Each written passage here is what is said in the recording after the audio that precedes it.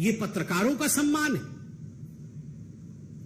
ये जो बॉयकॉट करके आप सम्मान दिखा रहे हैं डेमोक्रेसी का, ये आज पूरा विश्व देख रहा है, पूरा हिंदुस्तान देख रहा है। और मित्रों, आप सब पत्रकार बैठे हैं यहाँ पर। और आपके माध्यम से और टीवी के कैमरे के माध्यम से मैं करोड़ों पत्रकारों से आज सवाल पूछता हूँ, क्या ये जो चौदह नाम लिखे गए हैं, ये बॉयकॉट के नाम है या ये टारगेट लिस्ट है? क्या इनको केवल बॉयकॉट किया गया है या इनको टारगेट करने के लिए इनके नाम जारी किए गए हैं? मैं ये सवाल पूछता हूँ। ये हिट लिस्ट है। कुछ ऐसे पत्रकार हैं जो डिबेट नहीं करते। जो डिबेट नहीं करते हैं, आप उनमें गेस्ट भेजेंगे ही कैसे? तो उनके नाम क्यों रखे गए हैं? टारगेट करने के एफआईआर डालेंगे, आपको छोड़ेंगे नहीं, आपको मसल के रख देंगे। और आप बताइए, एक पॉलिटिकल पार्टी के कार्यकर्ता होते हैं। अब मैं कांग्रेस के लिए या उनके पार्टी के लिए कहूँगा नहीं कि लाखों कार्यकर्ता है, हज़ारों तो हैं, कुछ सौ तो हैं ही। आपके कार्यकर्ता कल अगर इस हिट लिस्ट में जिनके नाम दिए गए हैं, उनके साथ दुर्व्यवहार करें, उन पर हमला कर दे, क्योंकि आपने लिस्ट जारी की है बकायदा कि ये नफरती पत्रकार हैं। और प्रेस कॉन्फ्रेंस करके कहा है कि ये नफरत का दुकान चलाते हैं। अगर कुछ लोग इनके ऊपर दुर्व्यवहार कर दे तो इसके लिए जिम्मेदार कौन है? तो मैं इसको बॉयकॉट का लिस्ट कदाचित नहीं कहूँगा। मैं कहूँगा this was a hit job done by a hit list release by the Congress party and the India alliance ये एक हिट जॉब है।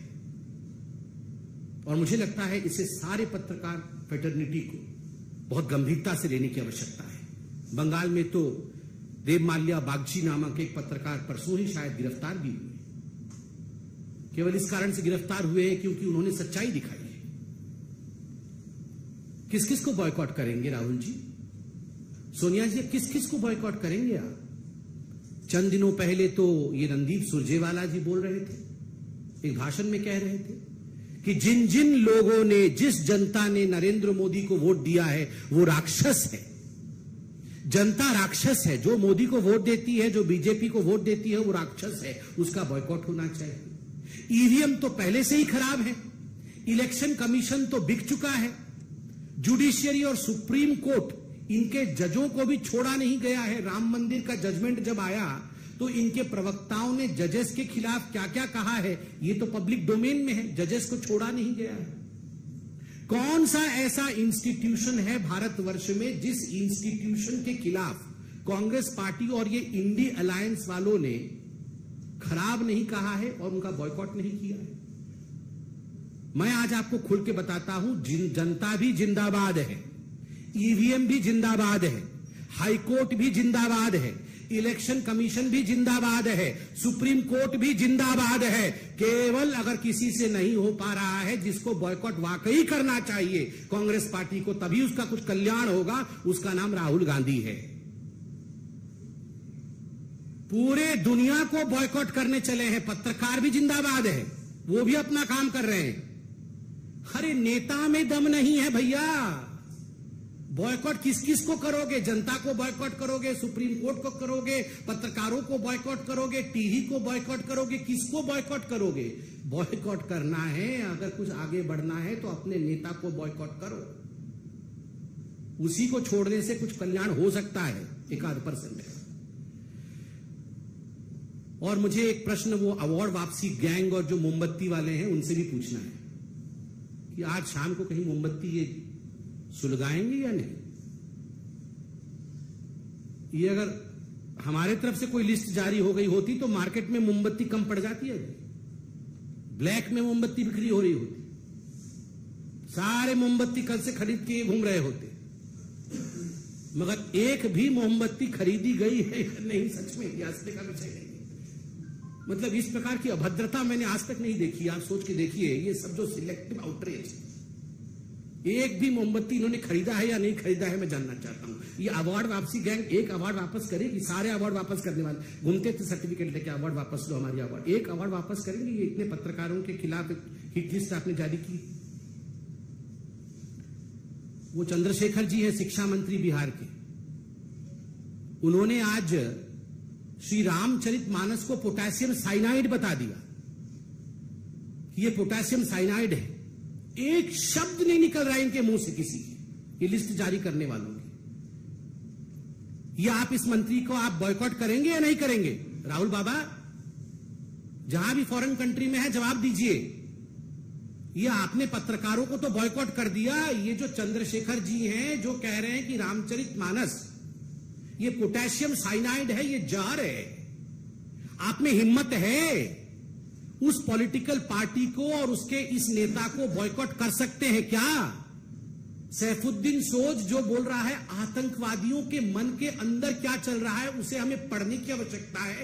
इस सैफुद्दीन सोज को राहुल गांधी, सोनिया गांधी बॉयकॉट करने की हिम्मत रखते हैं क्या? हिम्मत है तो दिखाइए। जो पत्रकार जी ट्वेंटी और भारत के लिए ठीक बोल दे उसको बॉयकॉट करना है और जो भारतवर्ष के लिए खराब बोले, उसके साथ खड़ा। अरे ये लोग तो ओसामा जी के साथ खराब हो गया। ओसामा जी को पानी में ढकेल दिया, उसको लेकर दिग्विजय सिंह तीन दिन नहीं सोए थे। आतंकवादी वो बाटला हाउस में मर गए थे तीन। उसमें सोनिया गांधी जी रो रो के बेहाल हो गई थी। इनका हाल तो ये है, आतंकवादियों के साथ खड़ा होना है, उनको बॉयकॉट नहीं करना है।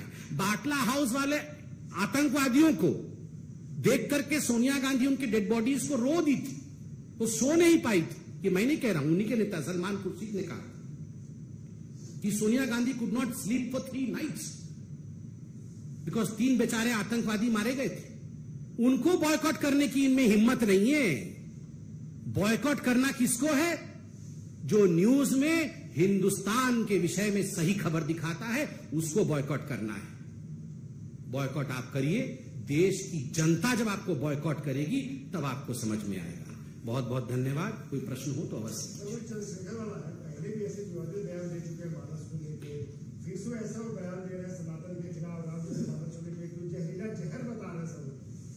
तो जहर तो भरा ही हुआ है उनके अंदर।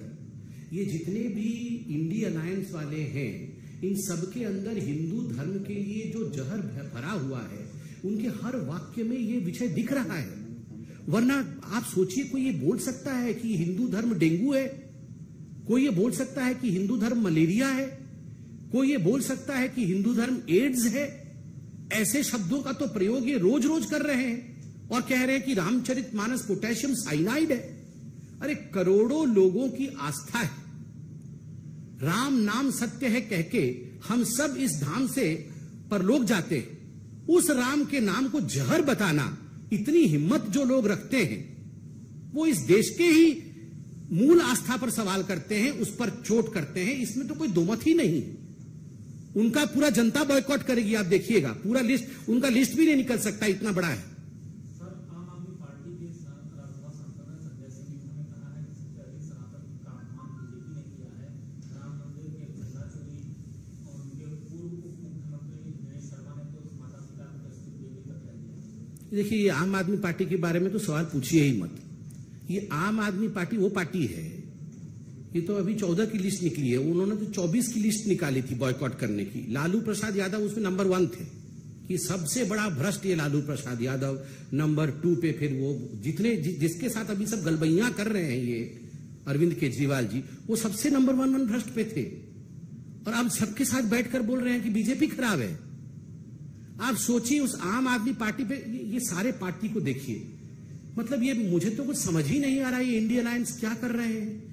ये पहले आम आदमी पार्टी कांग्रेस को बॉयकॉट कर रही थी कांग्रेस आम आदमी पार्टी को बॉयकॉट कर रही थी ममता बनर्जी अधीर रंजन चौधरी को बॉयकॉट कर रही थी अधीर रंजन चौधरी ममता बनर्जी को बॉयकॉट कर रहे थे। वहाँ पर पंजाब में आम आदमी पार्टी बोल रही थी हम कांग्रेस को घुसने नहीं देंगे। यहाँ पर नीतीश कुमार और आरजेडी में छत्तीस का आंकड़ा चल रहा था ये एक दूसरे को बॉयकॉट कर रहे थे। आज ये सब एक होकर बोल रहे हैं पत्रकार को बॉयकॉट कर रहे हैं। कोई जमीर ही नहीं है इनका।